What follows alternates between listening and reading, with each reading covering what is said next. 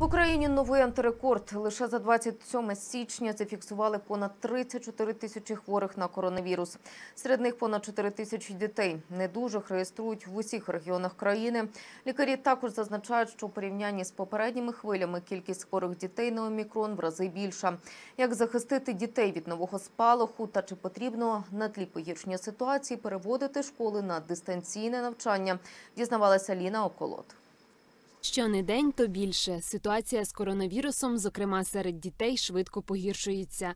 Тож у профільному відомстві радять утриматися від відвідування шкіл. станом на 26 січня, тобто на вчора, е, в цілому е, 4215 закладів загальносередньої освіти працюють в дистанційному режимі, а в місті Києві таких е, 50. Омікрон поширюється надзвичайно швидко та заражає велику кількість людей.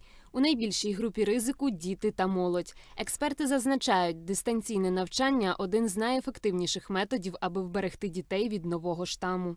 Якщо їх утримують вдома, то це, це, це допомагає нам боротися з поширенням. Зміни, які відбулися в, в геномі омікрону, дозволяють йому, е, ну скажімо так, тікати від е, впливу імунної системи дітей і молодих людей. А от опитані нами кияни мають різні думки щодо переведення шкіл на онлайн навчання. Коли така епідемія, то понятно, що зрозуміло, що треба переводити. Ні, не потрібно. Хай діти вчаться, імунітет буде краще. Все зависит от количества заболеваемости.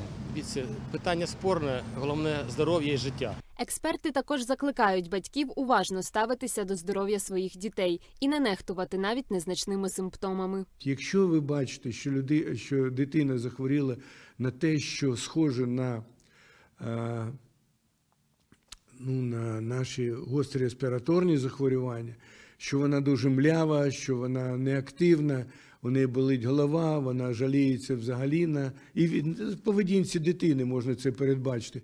Треба відразу зробити швидкий тест або навіть полімеразну ланцюгову реакцію. У той же час керівництво шкіл має самостійно ухвалювати рішення щодо переведення на дистанційний режим навчання класу, його паралелі або всієї школи, виходячи з ситуації із захворюваністю саме в закладі освіти. Аліна Околот, Аніта Копиленко. Новини Правда тут.